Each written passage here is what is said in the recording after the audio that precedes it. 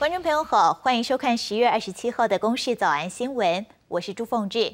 新闻焦点先来带您看到世界卫生组织所展开的全球团结试验疫苗计划，昨天宣布入选的两款疫苗名单，其中一款就是国产高端疫苗，后续将会在三个国家进行大规模的三期试验。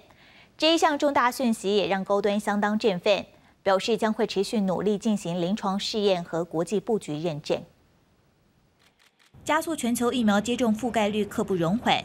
WHO 的官网上，二十六号晚间公告最新声明，正式宣布和哥伦比亚、马利以及菲律宾卫生部共同启动全球团结试验疫苗，已经从二十款疫苗中优先找出两款前景可期的疫苗，包括美国伊诺维奥制药公司的 DNA 疫苗以及高端蛋白质次单元疫苗，将会在哥伦比亚、马利和菲律宾三州三国进行大规模三期试验。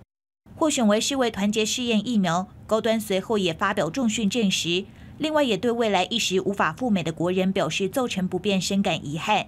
因为美国近日已经宣布，十一月八号入境美国的旅客都要完整接种 WHO 或者是美国 FDA 所核准的疫苗。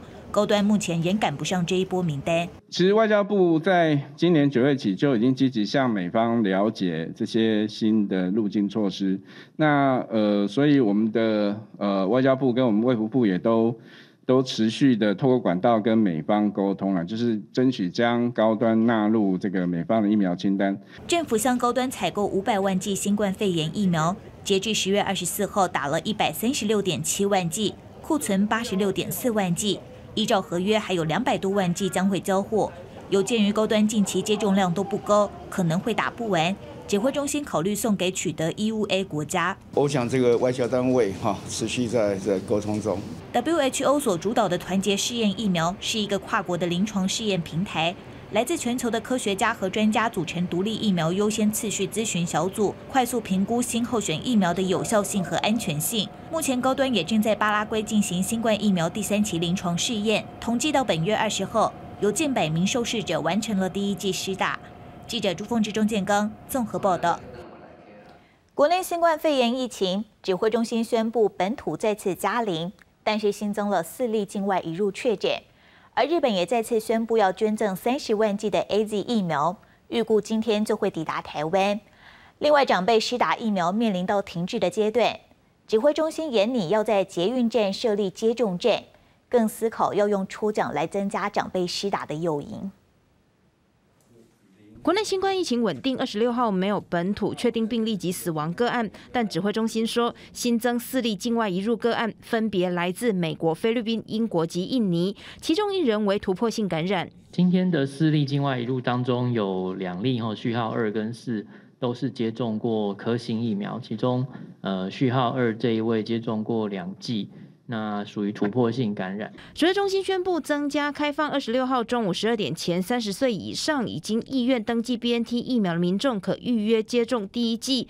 预约的时间是二十六号下午四点到二十七号中午十二点。另外再加开十月十三号中午前意愿登记，且七月三十一号到八月六号已经接种 AZ 第一剂的四十一岁以上的民众，可预约接种第二剂的 AZ。目前国内疫苗人口涵盖率是百分之六十八点七三，但七。十五岁以上民众的第一剂疫苗覆盖率一直停在七成，面临停滞的阶段。主要中心，你在捷运设接种站，也思考抽奖当诱因。啊，双北他们常常在捷运站前面就会设这个接种站啊，那民众只要在附近或是搭车的都可以经过一些。呃，优优惠摸彩或什么措施，的确都是可以去往这方面思考。而外界也关注接种站是否因为第十三轮开放 A Z 混打 B N T 疫苗出现弃打潮。指挥中心表示，第二轮 A Z 第二季开打五天来，报道率逾九成，没有看到弃打潮。A Z 第二季目前第一天是九十六，第二天九十五点八，第三天九十四点一，第四二十五号就昨天。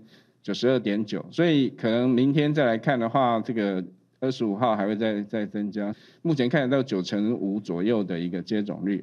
而日本政府也在宣布，将在捐赠三十万 A Z 疫苗，预计将在二十七号运抵台湾。这也是日本政府第六度捐赠台湾疫苗，捐赠疫苗的总数将超过四百二十万剂。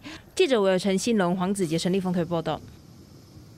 因为疫情，四大公投案、反莱猪、早教、公投榜大选，还有重启核四，延后到十二月十八号举行。如果公投过关的话，将会对民进党政府带来莫大的压力，所以府院党规划要正面迎战。第一场公投座谈传出会由总统蔡英文来亲上火线，而同时蓝营也同样进入备战状态，最快会在这个礼拜就会展开第一场的宣讲。同时，他们也宣布。要夜宿凯到四十九天。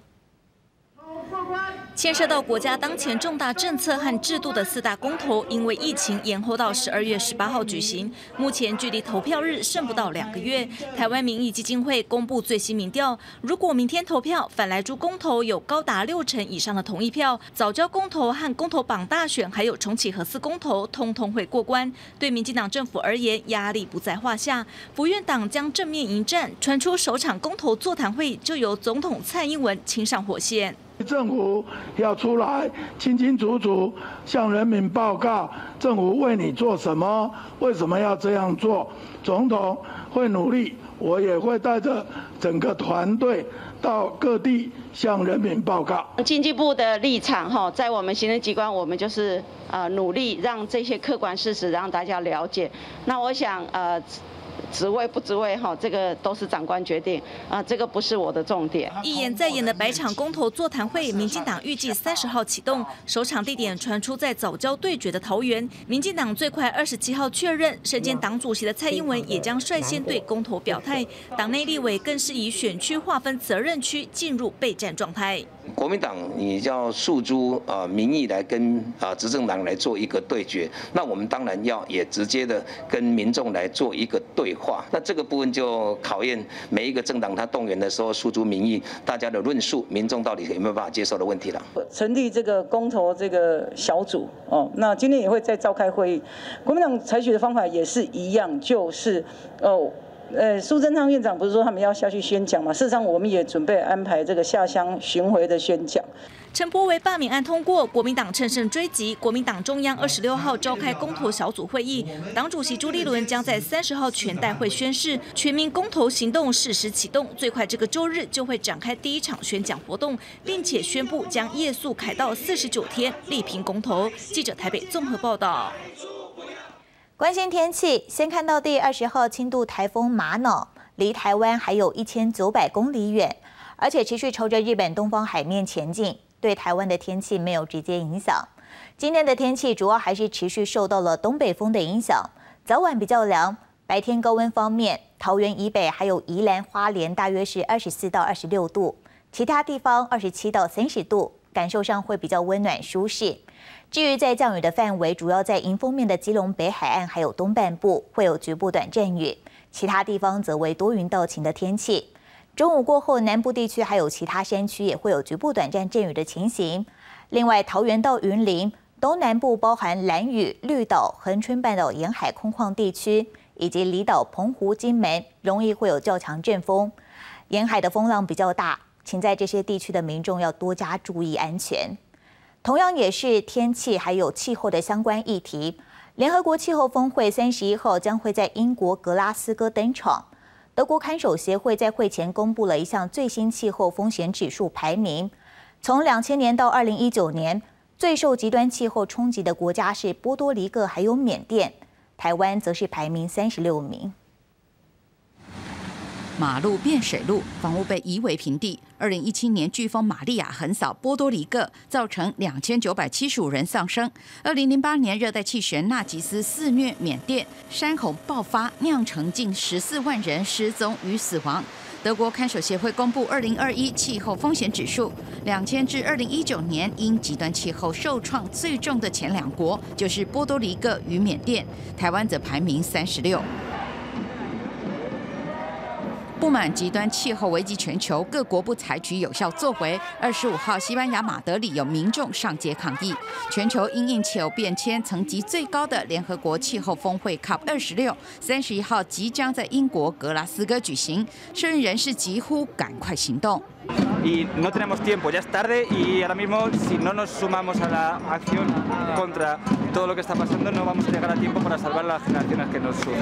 除积极减碳，面对天灾频传的气候紧急状态，贫穷国家根本没钱推动减灾的调试策略。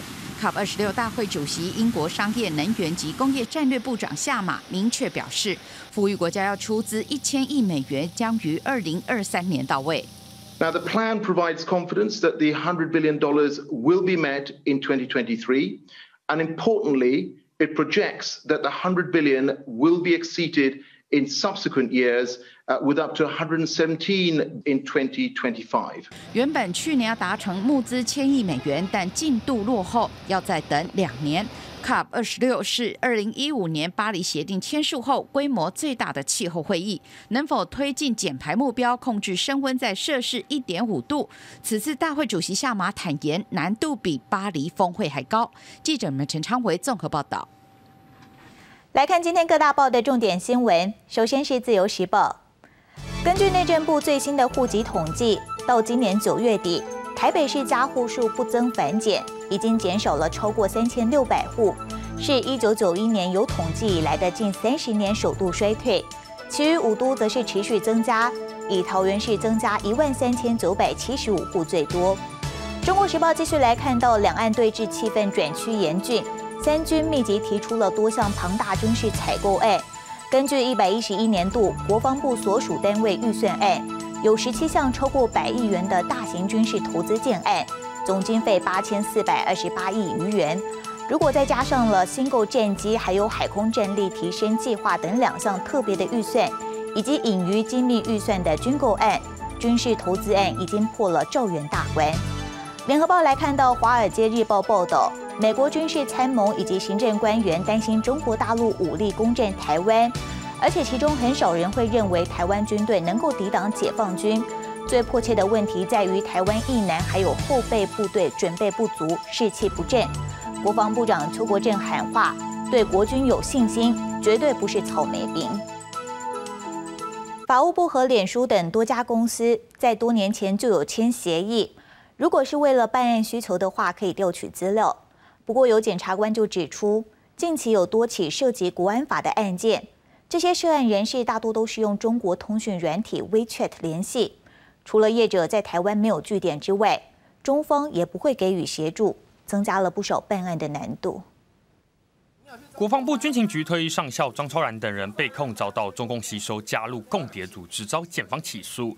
新党青年军王炳忠则被控和中国男子周鸿旭共谋在台发展中共组织。一审认定检方举证不足，判决无罪。检方上诉后，高院仍在审理。近期多起涉及国安法的案件就被查出，疑似是利用中国通讯软体 WeChat 与中国人士联系。确的微信公司在台湾，它本身没有设点。如果说要直接跟中国那边的公司直接去联系，这是一个困难。那再来就是说，如果两岸之间的这个政府之间又没有办法就这一边达成一个协商，那就等于没有任何的联络管道。检方表示，WeChat 母公司在中国台湾没有设点，欠缺在台联络管道。即使联系中国平台业者，对方也没有意愿及法律义务提供协助，只能透过搜索等手段取得涉案人通讯设备，坦言增加搜证办案难度。没有互相的沟通啊，能够提供协助的话，会确实会造成我们侦查犯罪上的困难呐。法务部长蔡英祥指出，对于加密软体增加侦查困难，会尽量克服。虽然 NCC 日前研拟数位通讯传播法草案纳管通讯平台，不过还是无法包含 WeChat。我们这个速通法 WeChat 的这个部分，就是检方在。调阅这个数位通信平台的用户的资料，纵使我们定了啦，该是所有的议题都适用，但是只有 WeChat 没有办法适用。NCC 强调，诉通法草案基于犯罪侦查，可以要求业者提供通联记录，不过目前朝落地登记的公司等方向进行，因此即使草案通过，WeChat 也难以管制。至于法务部拟定的科技侦查法草案，让检方能够以相当手段进行犯罪侦查，但因涉及侵害民众隐私等争议，如何规范仍在讨论。记者传讯林志杰、陈立峰台北报道。高铁延伸宜兰计划，从原先规划的四案新增为六案。交通部长王国才表示，不管是宜兰高铁站址，还是高铁南延屏东站址六块错，未来如果有新技术的话，环岛高铁不是梦。行政院长苏贞昌也宣布，未来还会延伸到潮州。高铁延伸宜兰计划选址卡关，从四案变六案，引发地方人士批评，决策越来越混乱，并质疑背后有政治大佬黑手伸进来，是政治凌驾专业的结果。王国才上午接受媒体专访澄清，其实再新增两案是修正案，不是额外新增的两个地点。是宜兰要到罗东铁路高架，事实上中间还有叫穿塘城。宜兰的市区会形成一个三十公尺在九层裸的这样奇怪的一个站体，他提出五跟六个方案。对五六方案已经是一个宜兰或是县政中心的修正案。王国才表示，高铁宜兰站设置还会考虑一个因素，就是能不能延伸。他说，高铁南延屏东站址选在六块厝，就是考量可以再延伸。目前高铁规划南延以及延伸宜兰，另外花东双轨化进度也正在准备新建中，已经完成三分之一。王国才说，高铁环岛不是梦。环岛高铁，我觉得不是梦。呃，未来的这个工程技术会越来越强啊。比如说，我们现在找不到路廊，那未来会不会有新的技术？是，它可以通过这个路廊。呃，如果高铁现在设的宜兰站，也要考虑它以后可不可以延伸啊？如果停在比较一个有发展腹地比较大的地方，它就可以继续延伸。至于高铁延伸到屏东，目前已经确定在六块厝设站，但有立委执行行政院长苏贞昌认为，六块厝前不着村后不着店，根本没有观光客会去。朱元璋回应还会再延伸。我绝对赞成搞屏东区，但是一定要优入来搞所谓的潮州。屏东区迄个站就是伫内底做啊站，对不？一定要优入来屏东。延伸潮州。另外，外界质疑高铁延伸宜兰计划直接跳过可行性评估就做综合规划研究，不符合行政程序。王国才澄清，主要是可行性评估等于从零开始，恐怕工期是遥遥无期，因此请顾问公司。规划并行一起做，强调审查过程一样严谨。记者黄柳张国良台报道。振兴五倍券上路，高雄凤山区出现了国内首起伪造振兴券遭到起诉的案件。一名男子拿着彩色影印的两百元振兴券前往牛排馆用餐，结果在结账的时候就被抓包了。他坦诚犯行，但也辩称自己有轻度智能障碍，家里经济又不好，所以才会动歪脑筋。但是检方认为男子当时有预备现金，以便被发现的时候可以应对，辨识行为有没有违法的能力应该没有受到影响，所以依法起诉。这名男子将会面临到三年以上十年以下的有期徒刑，没有办法还起诉。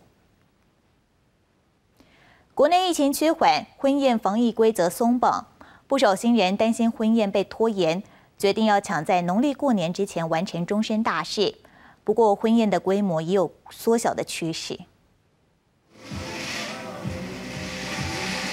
新冠肺炎爆发的这一年多来，许多打算结婚的新人们要穿上婚纱、步上红毯的这条路，比以往的新婚伴侣还要坎坷。在四五月那时候就开始要筹备，然后就疫情就开始了，对，然后所以就暂缓。因为我们的那个呃婚宴会馆就是在签约。之后一个礼拜，然后他就跟我们说，他们因为疫情的关系，所以姐要停业，就叫我们回去，就是拿押金这样。好不容易等到国内本土疫情趋缓，婚宴防疫规则松绑，新人们不想再度延期婚事，纷纷抢快决定要在农历年前结婚，但宴客规模有缩小的趋势。非常的赶，就想要赶快。在今年完成。疫情刚开始的时候，就会以拍婚纱的新人为主。那现在的话，开始就会有一些比较像是小型家宴啊，或者是说比较单纯仪式的新娘。之前我们的新娘可能她会希望挑选比较蓬，然后比较长拖尾的白纱。那现在的话，因为场地受限，所以她可能就会选比较合身啊，或者是比较好行动的白纱。婚纱业者指出，五月疫情爆发后，新人纷纷延后或取消婚礼，他们只。只好被迫电休，直到近两个月，终于能恢复正常。而北市知名的婚宴会馆也是十月中旬提前结束减班休息，下个月开始员工可以正常领全薪。收入算是恢复，工作也可以恢复正常，是有陆续在回温的，只是说现在订单都是以上半年为主了。减班休息期间，婚宴会馆部分厨师、服务人员得想办法在外兼差，咬牙度过难关。最近总算可以松一口气，但有不少订单取消了就没再回来。有单一业者定席率不见起色，近期仍向劳动。部通报上百员工减班休息。记者黄金吴家宝台北报道。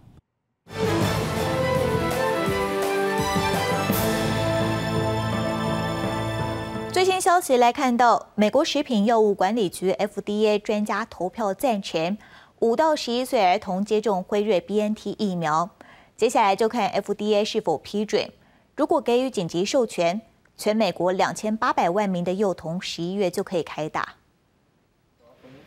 美国食品药物管理局 FDA 专家小组二十六号针对五到十一岁孩童使用辉瑞 BNT 新冠病毒疫苗的建议，最终投票结果出炉。As a two-dose series, 10 micrograms each dose, three weeks apart, outweigh its risks for use in children 5 to 11 years of age. 18 voting members, 17 voted yes, and we had one 主席蒙托问的，也正是对孩童最关键、最重要的安全性及有效性的科学数据。专家讨论的还包括可能发生与心脏有关的潜在副作用。此前，辉瑞针对儿童进行大规模临床实验，发现使用成人剂量的三分之一，防护力约百分之九十一。上周初步分析结果出炉后，FDA 专家表示，疫情之下这样的防护力明显大于可能出现的极微小副作用风险。At that time. The, the rates of hospitalization were eh, in, in the 5 to 11 year old group coming from the CDC data was 1 per 100,000. And over the last few weeks, that number has fallen to 0.4不过，有些专家表示不确定是否每个五到十一岁孩童都需要打到两剂，因为说不定有些人早就感染过，疫苗可能变成多打的。专家投票赞成使用后，FDA 将在未来几天决定是否紧急授权。疫情以来，美国五到十一岁孩童有近百人染疫病故，超过八千三百名儿童住院，其中三分之一需要重症监护。公视新闻黄韵玲编译。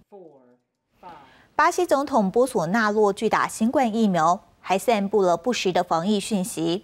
他二十一号脸书直播的时候，竟然说打疫苗更容易会罹患艾滋病，遭到脸书删除。巴西总统波索纳洛处理新冠疫情荒腔走板的作为，最近又新添了一桩。二十一号，波索纳洛在演书网页的例行直播，煞有其事的称手中的英国官方报告，指完整接种新冠疫苗的民众。会比预期的更快罹患艾滋病。消息一出，巴西科学界和医界人士纷纷跳出来大骂荒谬。Imaginar que tomar uma vacina leva a ter AIDS, uma doença sexualmente transmissível, é de uma ignorância abissal, profundíssima, né? Não, não dá para entender como é que uma cabeça é, de um presidente da República eleito pode ter imaginado uma bobagem desse tamanho. 脸书在二十四号晚间将这段影片从平台移除。波索纳洛之前散布的不实贴文，如煽动民众不必遵守保持社交距离的防疫规范，过去就曾遭到脸书删除，但这是头一次下架他的每周例行直播谈话。今年七月，他追随美国前总统川普的脚步，在 YouTube 影片推荐奎宁以及抗寄生虫药伊维菌素，称是可以治愈新冠病毒的药物，也遭到字母控股公司移除。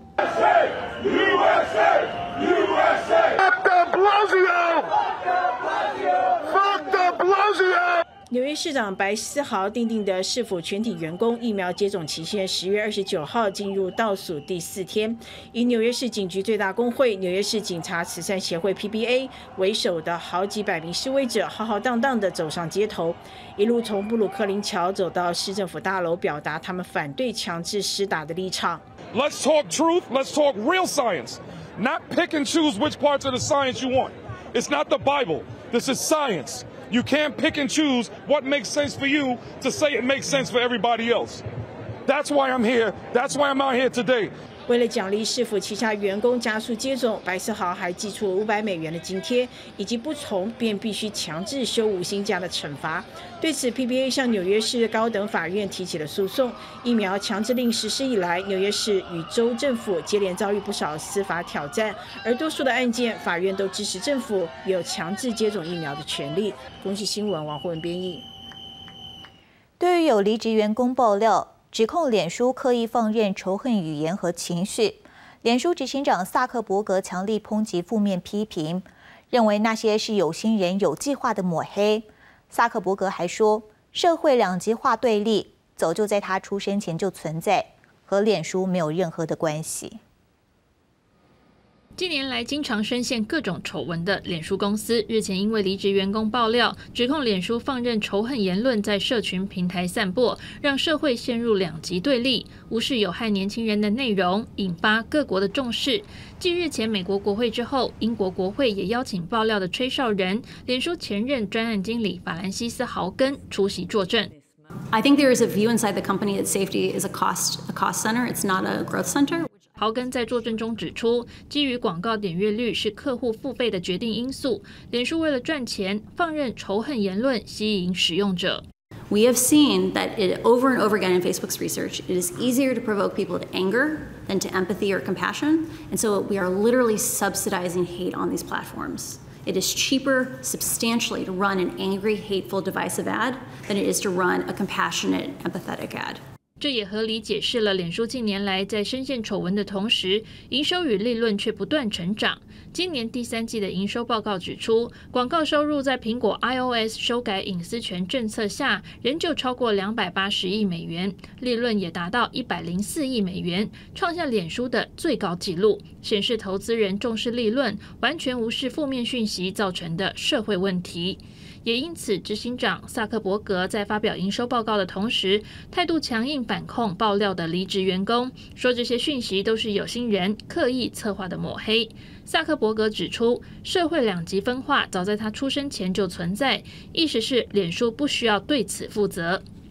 事实上，针对社会两极分化和所谓仇恨，脸书经常面对双重标准的质疑。例如，民主党阵营指控川普策动一月六号的国会山庄事件，因此脸书暂时封锁川普的账号。五月份又决定延长两年。另外，像是台湾经常用来嘲讽中国网友的“四二六”“支那”等语汇，脸书都禁止使用，并视情况暂停使用者的账号。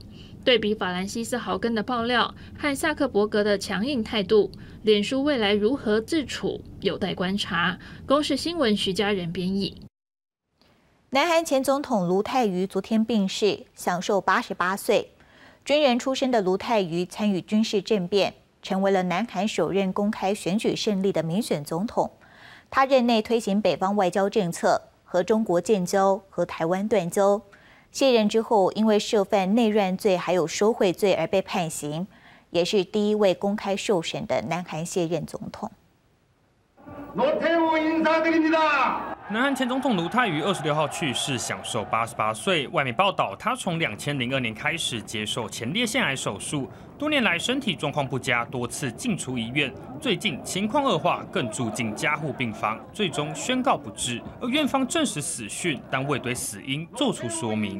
The President and First Lady No Tae-woo of the Republic of Korea are now entering the stadium. 军人出身的卢泰愚曾经参与双蛇政变，之后则继任全斗焕，成为南韩第十三任总统。就任前，南韩发生六月民主运动，一度引发大规模民主示威。独泰愚允诺宪政，同意总统直选，更在一九八八年赢得总统大选，成为南韩首位公开选举胜选的民选总统。任内还推行北方外交政策，陆续和东欧、前苏联等国家建立外交关系，更在任内宣布和中国建交。所以他是一个过渡期的一个总统，那同时他是军人出身，所以他有保守派的倾向，所以同意的要转向民主化，希望说能够让。呃，保守派的政权可以持续的执政下去。最受外界瞩目的是发生在一九九五年，卢泰愚被揭发筹集秘密资金，执政期间收受各方企业约五千亿韩元政治资金，更成为南韩首位在法庭公开受审的卸任元首。之后则被以军事叛乱、内乱、受贿等罪判处二十二年六个月有期徒刑，上诉后减刑为十七年，直到时任总统金永三上任才予以特赦。记者川讯林志坚综合报道。日本皇室的贞子公主昨天和大学同学小世圭完成结婚登记，两个人并没有举办传统仪式，也不接受高额的脱离皇室补助金，贞子冠夫姓成为了平民小世贞子。现年三十岁的贞子，二十六号上午离开皇室的住所秋小宫邸，父亲文人、母亲姬子与妹妹佳子在门口送别。贞子一一向家人鞠躬致意，妹妹佳子最后献上大拥抱，全家目送她搭车前往登记结婚，从此正式脱离皇室，冠上夫姓，改名为小室贞子。 台湾时间二十六号下午一点，贞子与夫婿小世圭两人举行记者会。私にとって K さんは かけがえのない存在です。そして私たちにとって結婚は自分たちの心を大切に守りながら生きていくために必要な選択でした。贞子与大学同学小世圭相恋，二零一七年就宣布订婚，却因为准婆婆的财务纠纷，迟迟无法走入礼堂。小世赴美攻读法律，这桩婚事饱受外界争议指点，直到结婚当天，还有反对者示威抗议。这次两人没有按照皇家传统举办结婚相关仪式，是二战之后首见，也决定不接受高达一点五亿日元（约合台币三千七百多万）的脱离皇室补助金。贞子与夫婿在记者会上对不实留言造成困扰表示抱歉，由衷感谢支持相挺的人，也重申共度人生的决心。私は眞子さんを愛しております。一度きりの人生を 愛する人と共に過ごしたいと思っています。これまで幸せな時もそうでない時も様々な気持ちを二人で分かち合い、励まし合ってきました。宫内厅日前公布，贞子因为婚事争议，长期受到批评。被诊断罹患了复杂性创伤后压力症候群。这次记者会原定采取口头问答形式，不过宫内听说贞子看到提问内容含有可能让人误为事实的错误资讯，情绪大受冲击，因此改以书面回答提问。夫妇两人致辞之后就先行离去。未来贞子与夫婿将占据涩谷区的短租公寓，之后一起前往美国工作定居。今日新闻是会中编译。回到国内焦点来看到台铁四零八次泰鲁格列车造成了四十九人死亡，还有两百多个人受伤。这一起重大事故案件让包商李义祥还有义工华文好第一时间就被羁押。花莲地方法院昨天裁定被告李义祥新台币六十万元交保，华文好停押责付。而检察官昨天也提出了抗告。台铁第四零八次泰鲁格列车重大事故案，被告李义祥、义工华文好在今年四月被羁押，并在七月二十一及九月二十一号延长羁押。花莲地方法院表示，相关证人都已经交互结问完毕，目前诉讼进度确保后续审理等程序顺利进行，应该没有继续羁押的必要。参酌两人经济能力、犯罪情节造成的法益侵害大小。分担犯罪实行角色地位等因素，裁定李义祥六十万元交保，华文好则负良信受则负人，两个人限制住居、限制出境、出海八个月。花莲地检署检察官则在二十六号提出抗告，认为被告李义祥只是以六十万元的低额拒保金替代羁押，不足以担保被告两个人。将来如实面对司法审判以及刑罚的执行，而且与犯罪情节、规模以及所造成的损害不相当，不符比例原则，依法提起抗告。记者林心怡、谢振林、沙燕琪、钟建刚综合报道。这个月十四号发生的高雄城中城大火，到昨天下午为止，已经募超过了二点六亿元的善款。高雄市政府宣布停止专户募款。会全数用在受灾户的身上。至于安置的问题，高雄市府指派社工要一对一陪同看屋、租屋，也把每个月一万五的租金补助从半年的期限延长到两年。走进小套房，黄小姐东摸摸西看看，检视屋内的家具都很符合需求，决定直接签约。她是城中城住户，火警时人在美浓躲过一劫，家却全烧毁，只能在外租屋。你一间到四加四十六个人吼啊，其实叫我卖卖卖卖等去啊，就是。赔偿赔偿能能拿多少就拿多少这样啊。像是水灾啦、火灾啦、吼啊地震啊都有创伤症候群，我是不会啊，哎呀，我心灵上有寄托了，对，会走不出来啊，而且我会恐惧啊。为了安置住户，市府派社工一对一陪同看屋租屋，也将每个月一万五千元的租金补助从半年补助时间延长到两年。虽解决了短期的住宿问题，还是有住户想问大楼未来的规划。可以改善，或者是说。它需要重建或拆除。如果说可以尽快有一个、有一个、有一个方向的话，我们会比较、比较心里心里会比较、比较安定。住户说不知道大楼何去何从，很不安。毕竟家在那，有初步方向才能规划未来。所以大楼没确定方向，但城中城的善款已有规划的雏形。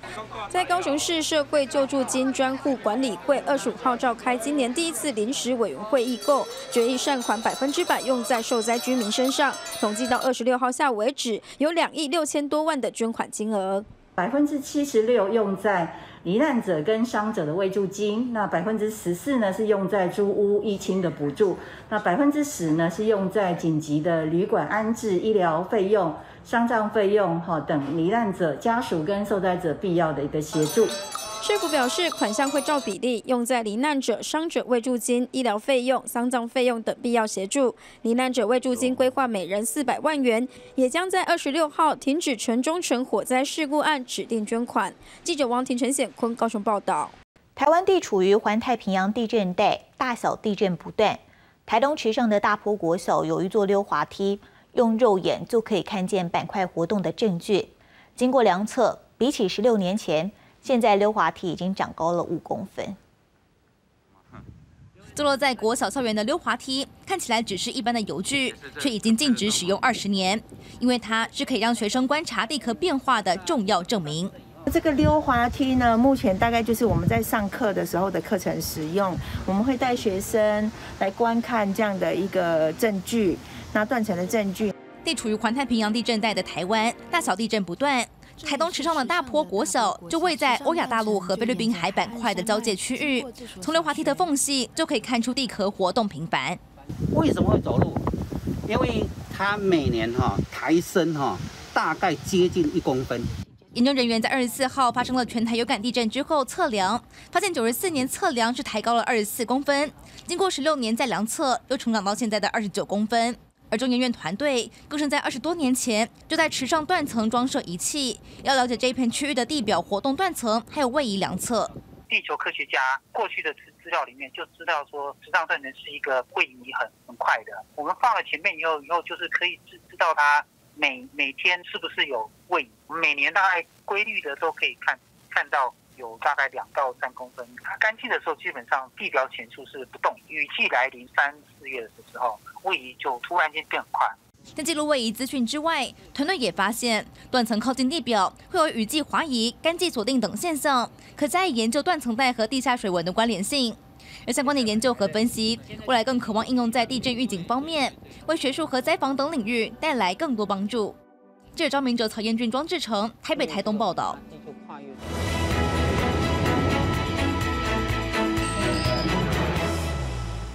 塔利班上台之后，阿富汗面临到严峻的经济危机。除了国际资金遭到冻结，没有办法使用之外，气候变迁带来的干旱也冲击到了农村地区，导致粮食短缺。有父母被逼到走投无路，甚至是把女儿卖给别人当新娘。羊群站在几乎干涸的水坑喝水，周遭全是土石，没有植物。这里是阿富汗西北部的农村地区，最近因为严重干旱，旱田缺水灌溉，人类和牲畜也几乎无水可喝。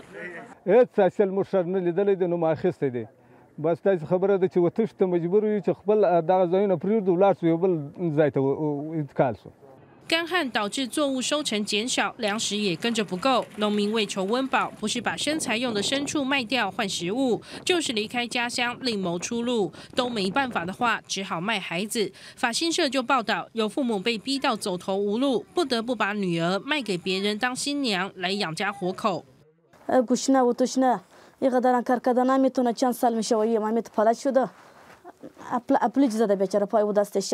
اشكني بجلاك ميكوني فاشم جلاك ميكوني ياك ياكل ارض مستون ايتشي ميشو وشنا ودشنا نروغان نغازنا ايتش ايتش زي مستونا ما نبالي ما بيامات 其实，农村从去年就开始面临干旱问题，但不论前任政府或是现在掌权的塔利班，都无能解决。事实上，塔利班上台后，情势变得更糟，因为国际资金遭冻结，让阿富汗原有的粮食短缺跟经济问题更加雪上加霜。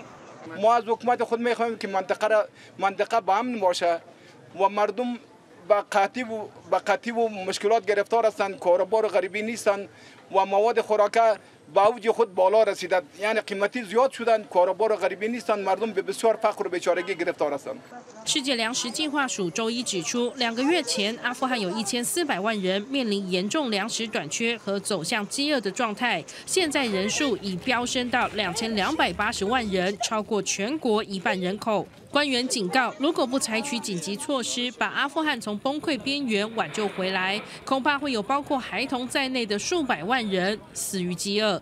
公视新闻徐婉宁编译。塔利班重新掌权之后。阿富汗妇女就被要求要穿不能够露脸露手的黑色罩袍。不过，喀布尔有一家美容院不惧威胁，帮妇女做造型、化彩妆。浓密的长睫毛、五彩亮片的眼影，配上华丽的礼服和珍珠头饰，眼前这群正在科布尔美容院忙着装扮的妇女，颠覆了一般人对阿富汗女性的印象。原来她们都是准备要参加婚宴的宾客，面对这么重要的日子，自然不能马虎。I believe fashion is such an important thing for every country because, I mean. without wearing proper clothes, how will you even give a message to other people? Like, you know, we are not people with blue burqas. We are not people with black burqas. That's, that's not who we are. We have such a delicate, such a beautiful, colorful clothing. And 然而，自八月中塔利班重新掌权后，女性就被要求穿着不能露脸露手的黑罩袍，美容院也收到官方来函，必须关闭。而塔利班第一次统治期间，只要涂个指甲油，就可能被砍去手指头。 塔利班所推行的严格伊斯兰教条，让所有阿富汗妇女活在恐惧中。但是苦心经营美容院的老板娘，至今仍在和体制对抗，希望保有这份工作。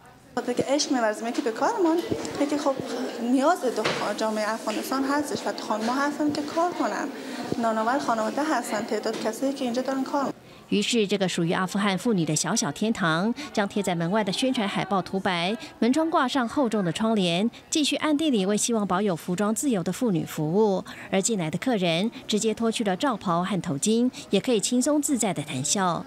一位设计师感慨地说：“塔利班上台后，很多妇女的笑容都消失了，而笑容却是一个女人美丽的重要秘诀。只不过，这个能够让阿富汗妇女展现笑颜的美容院能够撑多久，谁也没有答案。”公视新闻曾慧敏编译。顶级的日本和牛是许多饕客的最爱。现在，日本的科学家利用 3D 列印技术做出了人造和牛，除了可以精准控制牛肉的油花比例，研究团队也希望可以解决气候变迁所带来的粮食危机。烤盘上的肉片滋滋作响，让人食指大动。日本和牛独特的味道和口感被誉为是牛肉界的贵族，其中又以神户地区最有名。不过，在日本现在有科学家成功利用 3D 生物列印技术制造出人造和牛肉。筋肉、脂肪と血管をそれぞれプリントでファイバー状に構成しまして、でまあ後でそれをですね、その設計図となる肉の組織学的な 構造を見ながらですね、えー、と再構築していけば、まあ、肉の構造が出来上がるんじゃないかというふうに考えたということになります。研究团队先是从和牛的身上截取了两种干细胞，在实验室培养出人造肉，接着利用 3D 列印技术制作出肌肉、脂肪还有血管纤维，最后经过人力去组合，一块块人造牛肉就此诞生。今度は人の細胞に置き換えることでえ、人の、ま、筋肉大腿筋とかですね、ま、欠損した場所にそういう筋肉を移植をしていくということができるようになるんじゃないかということを期待して今研究を進めているところになります。研究团队称，这项技术将有助于未来进行肌肉移植，因为 3D 列印技术可以精准控制复杂的肌肉结构，还能细微调整脂肪和肌肉的比例，也就是说，可以克制化和牛的油花分布。少ない細胞から多くの肉を作っていく、まあしかも早くということが可能になってきますと、食料の将来的なですね。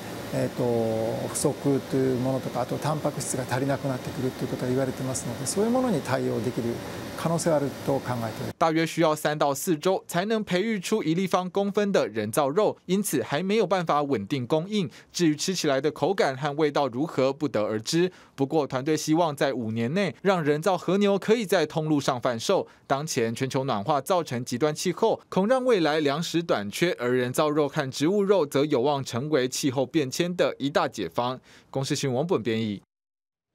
我们一起来关心今天各地的天气预报资料。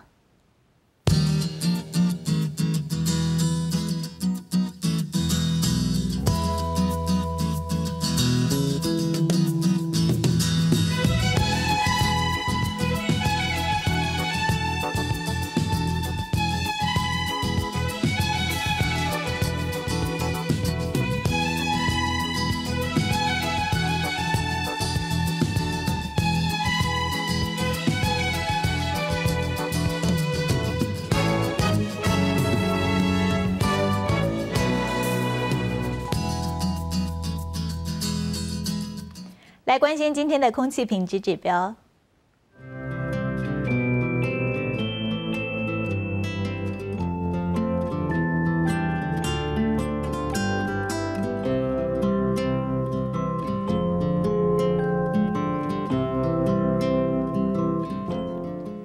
感谢您收看这一节的《公视早安新闻》，我们明天再会。